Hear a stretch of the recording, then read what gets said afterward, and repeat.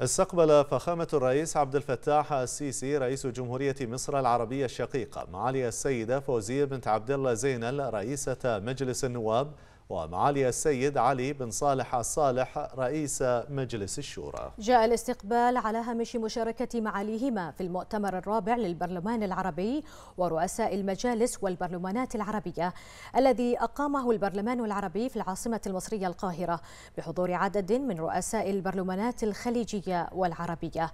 ونقل رئيسا مجلسي الشورى والنواب تحايا حضرة صاحب الجلالة الملك حمد بن عيسى آل خليفة عاهل البلاد المفدى حفظه الله ورعاه إلى فخامة الرئيس عبد الفتاح السيسي وتمنيات جلالته لجمهورية مصر العربية بدوام التقدم والنماء. وعرب فخامة الرئيس المصري عن خالص التهاني والتبريكات إلى معالي رئيسة مجلس النواب بمناسبة تسلمها رئاسة الاتحاد البرلماني العربي داعيا لها بمزيد من التوفيق والنجاح في رئاسة الاتحاد خلال الدورة الحالية.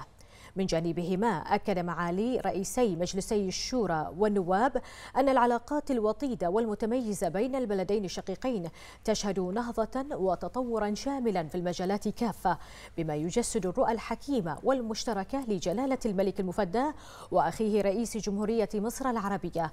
معربين معاليهما عن الاعتزاز البالغ بما وصلت إليه العلاقات التاريخية الراسخة بين البلدين الشقيقين من تعاون وتنسيق رفيع المستوى. وأشار معالي رئيسي مجلسي الشورى والنواب إلى أن الجهود الثنائية من أجل البناء على ما تحقق من نجاح مشهود وتعاون ثابت بين الحكومة الموقرة برئاسة سمو ولي العهد رئيس مجلس الوزراء والحكومة المصرية برئاسة معالي الدكتور مصطفى مدبولي رئيس مجلس الوزراء. يترجم تطلعات وطموحات البلدين لتوسيع مسارات العمل المشترك. كما أكد معاليهما حرص مجلسي الشورى والنواب على مساندة ودعم كافة التشريعات التي تسهم في تعميق الروابط المشتركة بين البحرين ومصر منوهين بالتنسيق المشترك والمواقف الموحدة بين مجالس البلدين والتشاور المتواصل بشأن القضايا المطروحة في المحافل البرلمانية الدولية.